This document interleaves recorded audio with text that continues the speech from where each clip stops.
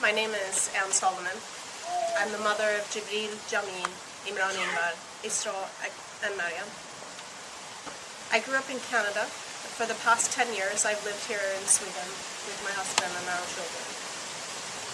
I have dedicated my life to take care of my children and to be there for them every day and every night.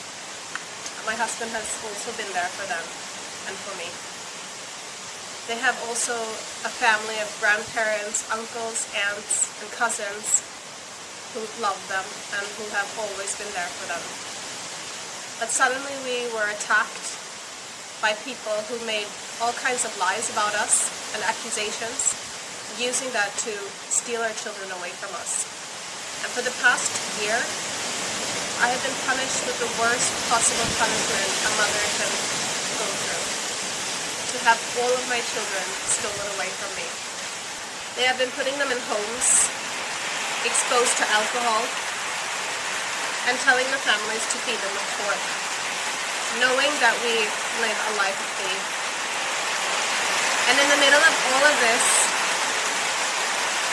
I'm being also threatened to be deported from Sweden, away from my husband and all of my children.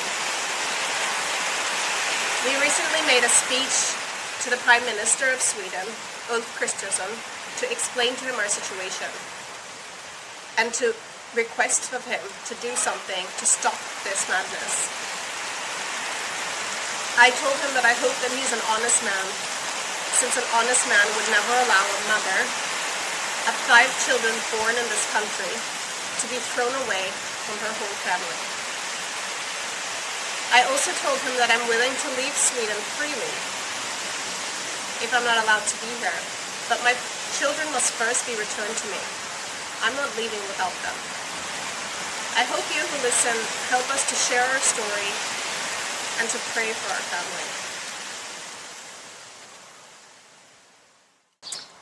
My name is Susanne. I am the grandmother of Jibril, Jamil, Imran Inbar, Isra and Mariam five out of my 11 beautiful grandchildren, and they are all very dear to me. I have lived in this country for all my life and always felt very proud of it. Sadly to say, after 60 years, I have discovered that there are people in this country abusing their power and split families. It seems to me, especially to families living with faith.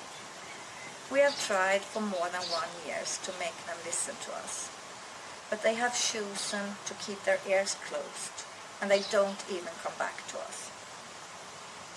I want to testify that we are a loving family who puts our, all our children as the highest priority.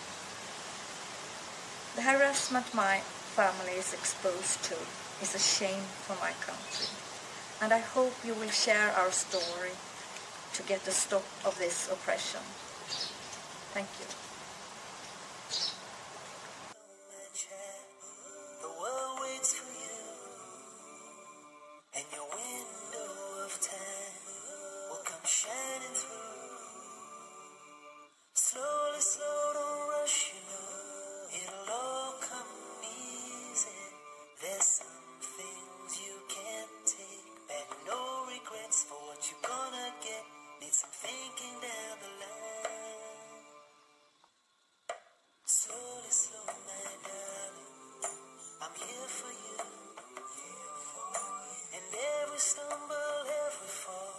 makes my head